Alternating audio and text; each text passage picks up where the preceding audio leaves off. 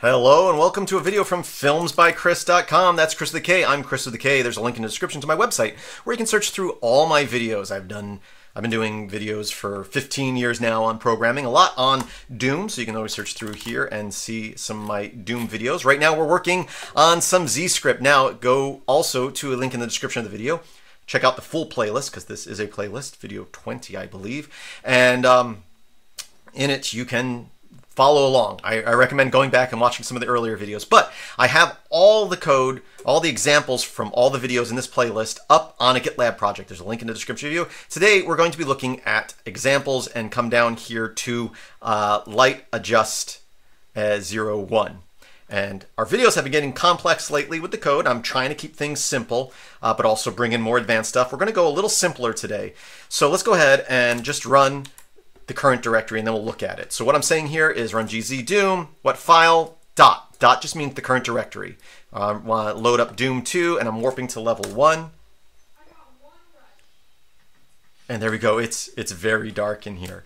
Uh, everywhere it's very dark. So we'll look at the code in a second. I also want to simplify things for you if you're just jumping in here, and I've mentioned this previous previous videos. All you need to do is once you're in the directory with the code is gzdoom-file dot.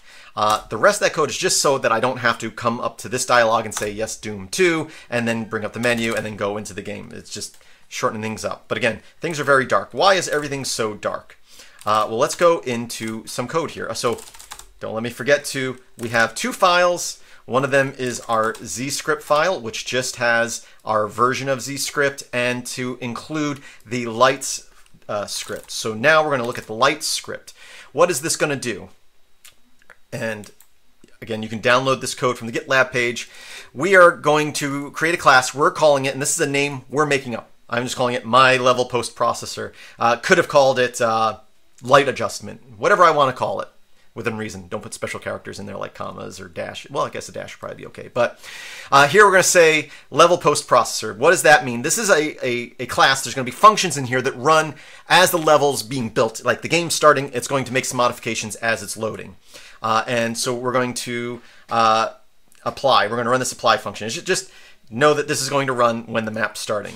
What are we going to do here? Well, here uh, I'm going for our current level, so the map we're on, look at all the sectors and get the size. The size is how many sectors. A sector is a room. Every single little step is a room. So, uh, but just think of sectors as room. Here it's looking at every single room. We're getting how many there are, and we're putting it into a variable here. Then this for loop is just saying loop through each one of those. Go to each one of those. And for each one of those, what are we going to do? So we're going to set sector light i to 64. Okay? Uh, so you know, let me simplify this even more for you. If I was to get rid of all this, so I'm doing this, I am commenting uh, out a lot of stuff. So anything that's in purple right now is not going to run as code. So here we're saying post-process run when the level's starting. What are we going to run? We're going to apply the following. We're going to say set sector, and then we can give it a sector number. Okay? Each sector has its own number. And I know, just from playing around, that the first sector that you're standing in, in Doom 2, is sector 7. So here, oops, I hit 7 a couple of times. If I was to run this code now, I am pretty sure that all the sectors are going to have regular lighting except for the sector I'm standing in.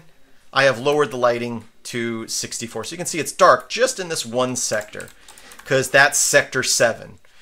And that's great if you know what the sector is numbered. Let me go ahead and set the light value. The light value will be a number between 0 and 256. Uh, so, or 255. It's between 0 and 256. So you can see, oh, now it's very dark in this one sector because this is sector 7.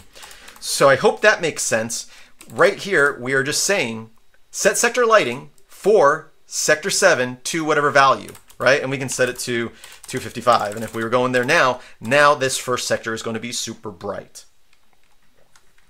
See, it's like daytime, right in this one sector, not over here or over there, but just in this one little room. So now we're going to go back in here and we're going to uncomment this line, this line, and this line. And we're going to change this 7 to i.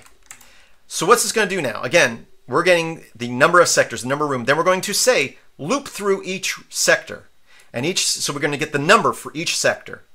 And we're going to put in a variable i. So here, we're still saying set sector lighting for which sector? Well, it's going to go through each one and put the number for each one. And we're setting them all to 255. So now if I was to run this, every single room is going to be as bright as it can be. Look at that. Look how bright it is. There's no shadows or anything like that. Well, Doom doesn't really have shadows, but you fake it by setting up sectors with different lighting, so everything's super bright. And if I was to do the same thing, but change this to, again, a low number, I mean, I, I could put zero. Let's go ahead and put zero. It's going to be, every sector is going to be as dark as it can be. And we're just, you can, I don't even know if that's going to come up in the recording. I can see my hand a little bit. Hopefully you can see it, but it's, it's as dark as it's allowed to go for every single sector. So that's great. We can set individual values, but how about this? I am going to add another line here. I'm going to create a variable. And I'm saying let. I probably should say int.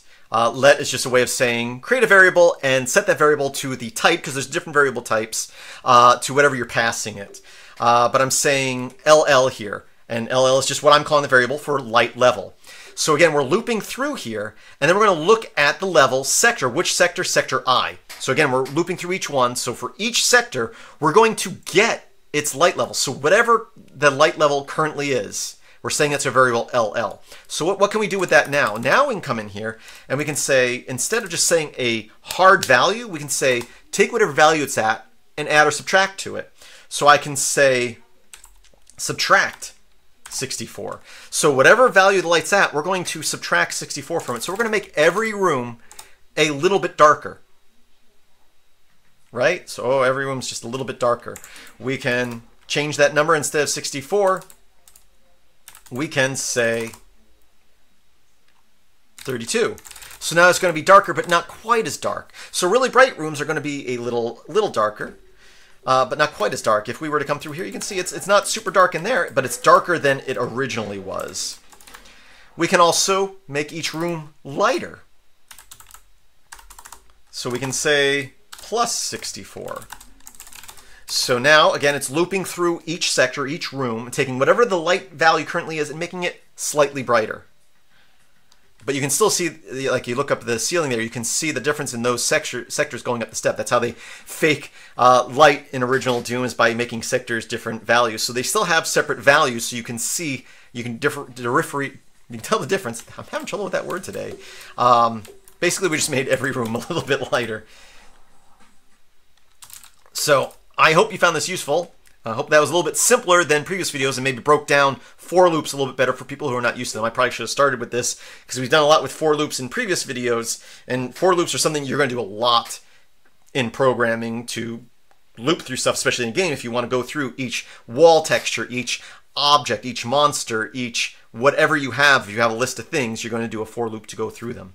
So again, uh, filmsbykris.com. Also check out the link in the description to the project. And again, all you have to do to test out these codes is go to the project and then say clone. And if you're unfamiliar with Git, just say download the zip file, unzip it, go into the directory, and as it tells you right here, all you have to do is say G gzdoom-file dot, and we'll say to run. As long as you're in one of the folders under the example directory, so like this one here, it will run that code and then you can just play around with it, mess it up. If you screw up the code completely, you can just download it again.